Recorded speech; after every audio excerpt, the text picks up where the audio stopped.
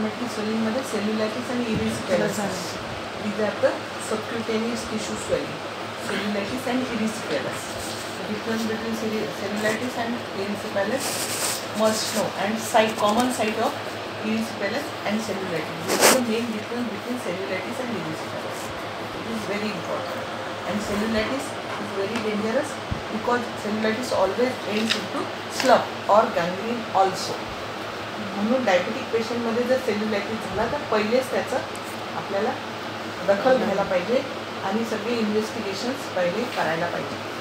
Then next inflammatory type of swelling is abscess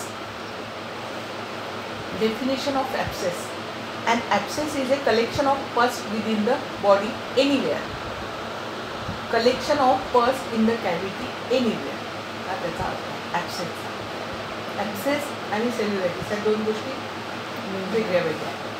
Cellulitis may convert into abscess हे पण दुसरी आपल्याला त्याच्यामध्ये समजून घ्यायचं there are three varieties of abscess in surgical practices one pyogenic abscess pyaemic abscess आणि cold abscess three types of abscess pyogenic pyaemic and cold त्या तिन्ही याच्यात त्या जर बरोबर तुम्ही पायोजन पायोमिक आणि कोल्ड तीन नावं जर बरोबर लक्षात ठेवले तर तिन्हीमध्ये वेगवेगळा डिफरन्स आहे.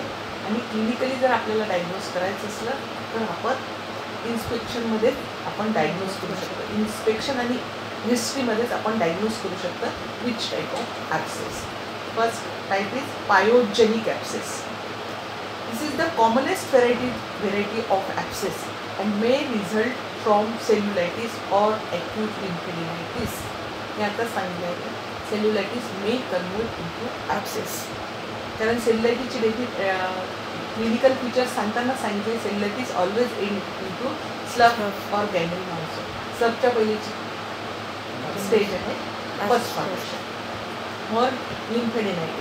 Lymphadeninitis means inflammation of lymph nodes. and there is an infection in the lymph node and formation of pus. म्हणजे ह्या दोन्ही गोष्टी ज्या आहेत cellulitis and lymphadenitis may result may convert into abscess the organism gain entry either directly through the penetrating wound or local extension of adjacent focus of infection or hematogenous or lymphatic spread from from a distance.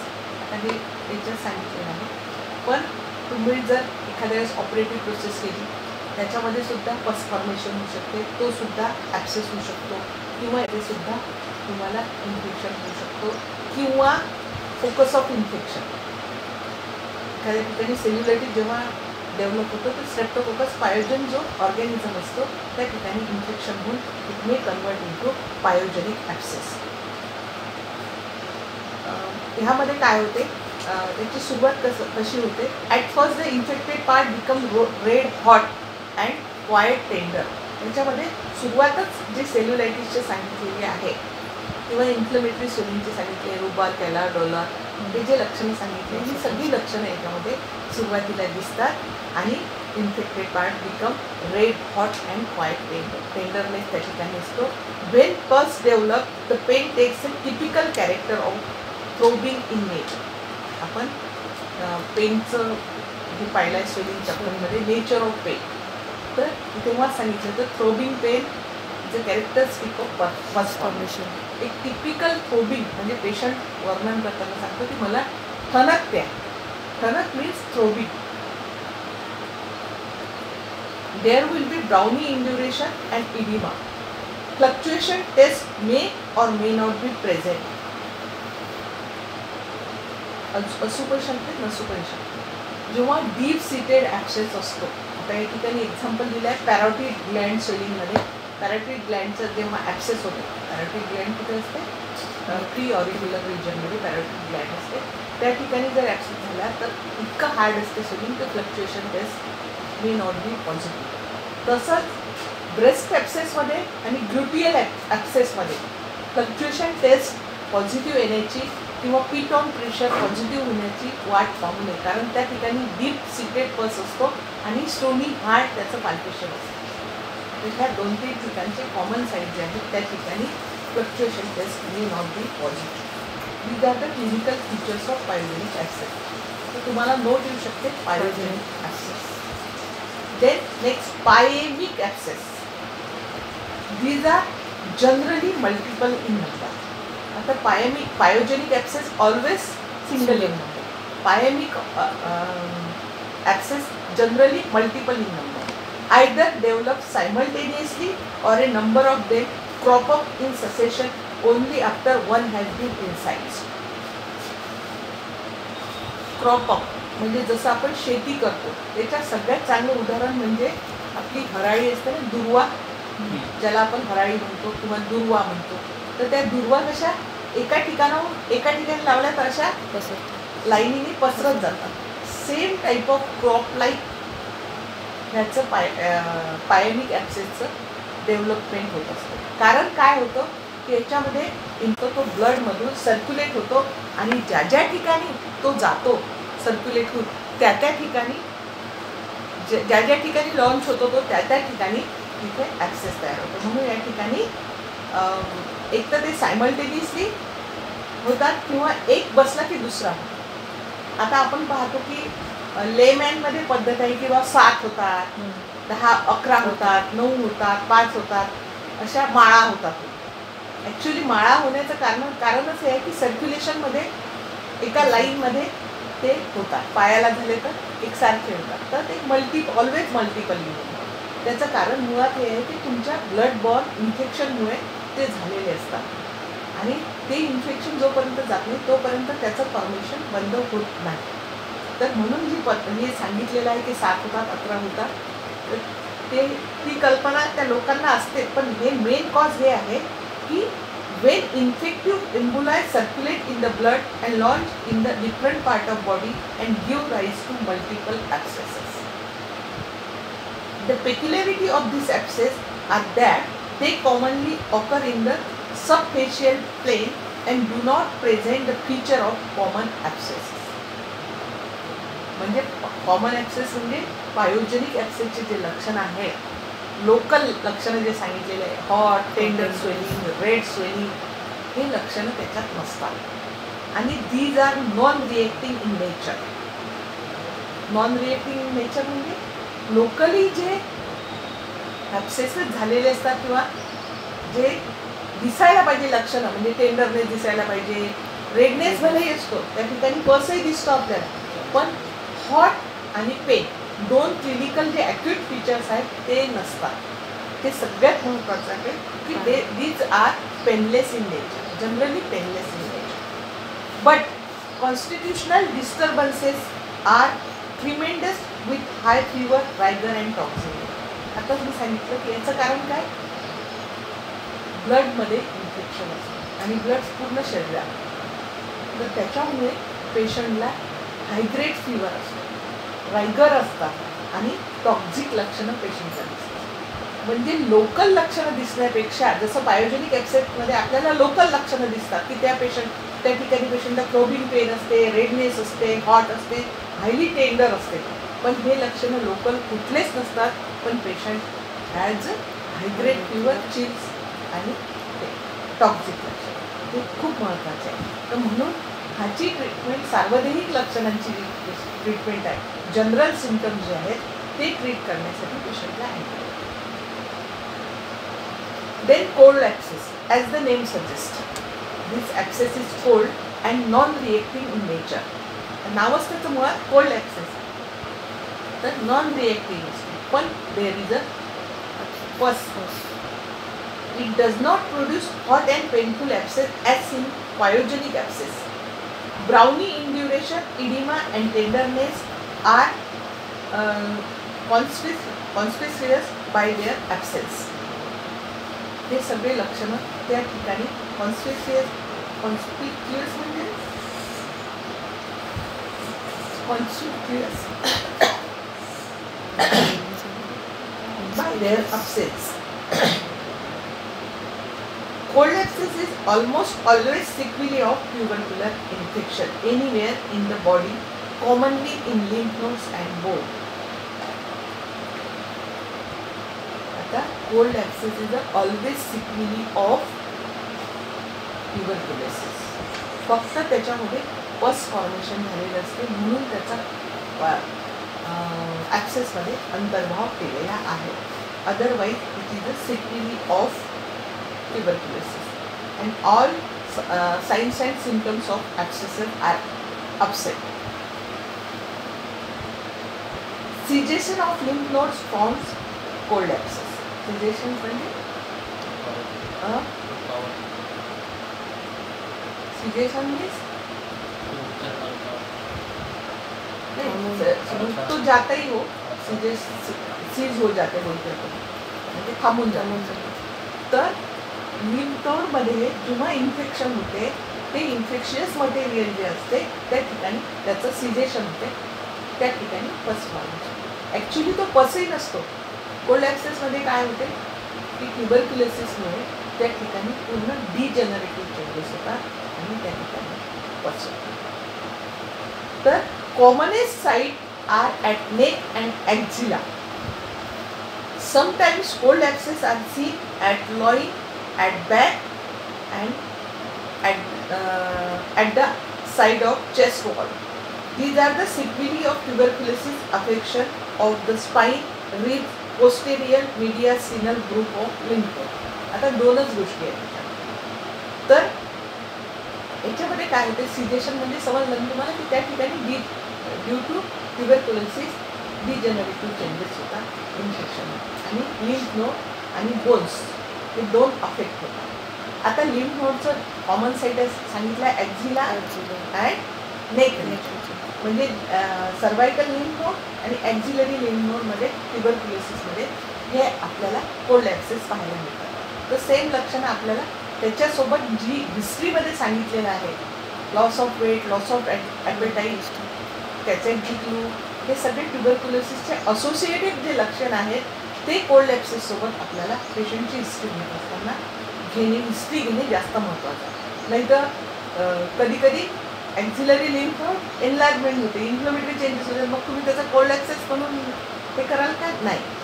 तर ह्या ठिकाणी history जास्त महत्त्वाची cold access दुसरी गोष्ट आता सांगितलं आहे की cold common site of loin आणि स्पाईन रिजन अजून चेस्टच्या ठिकाणी आणि पोस्टिरियर मिडियासिनल ग्रुप ऑफ या ठिकाणी कोल्ड ॲप्सेसचं ओरिजिन सांगितलं आहे.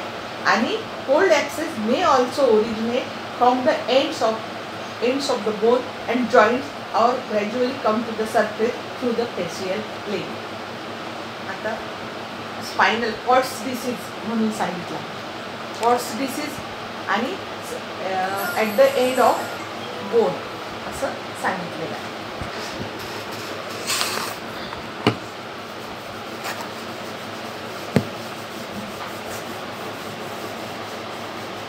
Either side of chest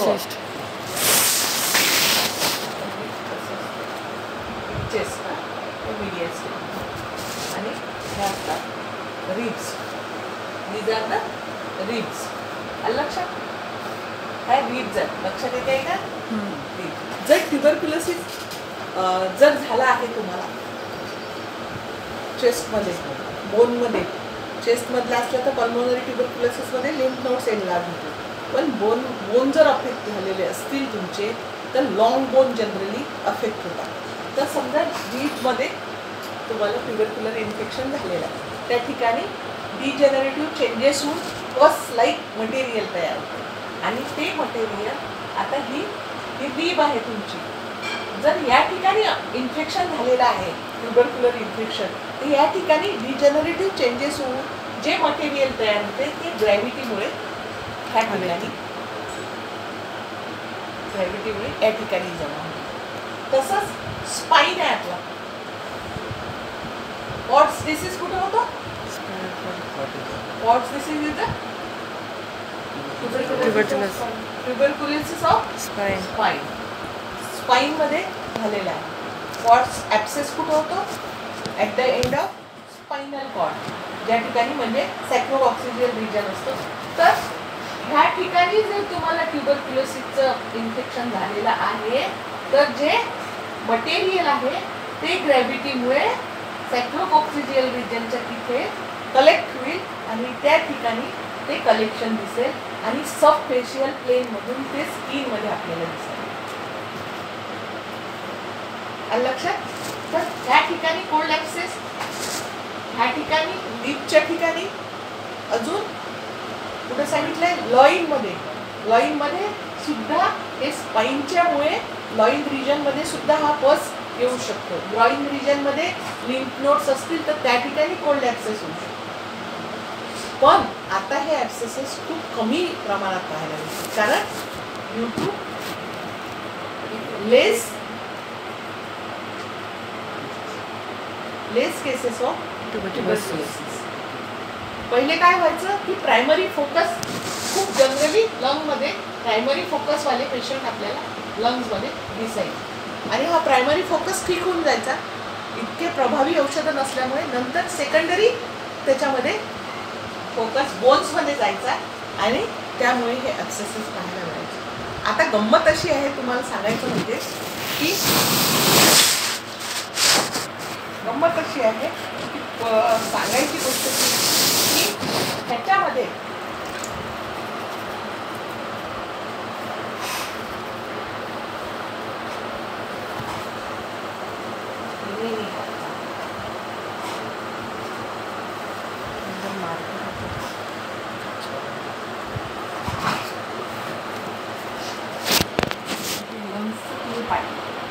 याच्या नंतर काय असतात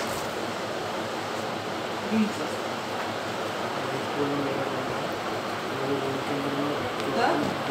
हे झालं फ्लँक तर ह्या ठिकाणी फ्लँक रिजन म्हणजे हा दोन्ही बाजूचा पार्ट. हा. ज्या ठिकाणी रिपचा एंड होतो त्या ठिकाणी. म्हणजे तुम्हाला पोस्टेरियरली ह्या कुठेतरी मिड ॲक्झिलरी लाईनला कुठेतरी ॲब्सेस दिसेल आणि पोस्टेरियरली हॉर्स डिसीजचा इथे दिसेल.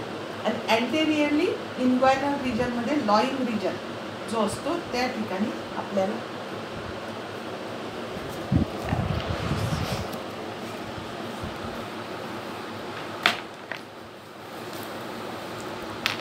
ह्या ठिकाणी ह्या ठिकाणी पोस्ट हा फ्लँक रिजन हा. हे दोन्ही लंग समजा लंग मधून ज्या ठिकाणी रिब्स बागच्या बाजूला मागच्या बाजूला नाही साईडच्या मिड ॲक्झिलरी लाईन म्हणतात त्याला.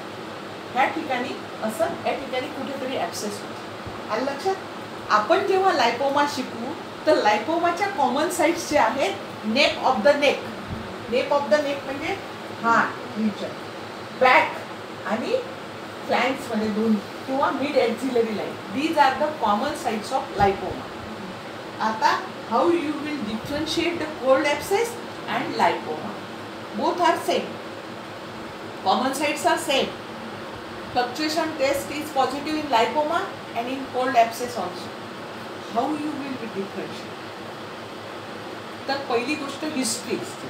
इतका कोल्ड ॲप्सेस जर पेशंटला होईल तर ट्युबर ट्युबरक्युलसिसचे सगळे लक्षणं तुम्हाला दिसणार आहे दुसरी गोष्ट ह्या ठिकाणी जर नाही दिसली इतकी सिरियरली तर ह्या ठिकाणी मिड ॲक्झिलरी लाईनला किंवा बॅक साईडला जेव्हा तुम्हाला अशी दिसतात तेव्हा तुम्हाला रूल आउट करायला पाहिजे लोकल एक्झामिनेशन लोकल एक्झामिनेशनमध्ये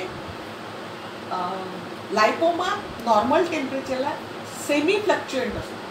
हा कंप्लीट फ्लक्च्युएशन टेस्ट पॉझिटिव्ह असते. दुसरी गोष्ट जर आपण हे केलं पिटोन प्रेशर हे याच्यामध्ये चांगल्या प्रकारे पॉझिटिव्ह असू शकतो. लायपोमामध्ये असतो पण तरी पण कन्फ्युजन असेल तर you have to do the aspiration test aspiration किंवा एफ एल ए सी केल्यानंतर तुमचं क्लिअरली डायग्नोसिस होईल. जर ॲस्पिरेट केलं तुम्ही मोठ्या मोठ्या गॉड गॉज असलेलं त्याच्यामुळे. तर तुम्हाला लक्षात येईल की पस आहे कारण लगेच सबफेशियल प्लेनमधून तो पस आणि पसचा कलर सुद्धा टिपिकल असतो. इन्फेक्टेड प फर्स्ट नसतो तो व्हाईट कलर पर्स असतो आणि त्याच्यामध्ये त्या गोष्टी दिसून येतात. म्हणून सगळ्यात मोठं डेंजरस भाग आहे cold ॲक्सेसमधला you have to differentiate the lipoma and cold आता लायकोमा जेव्हा येईल परत तेव्हा हा परत हा मुद्दा येईल.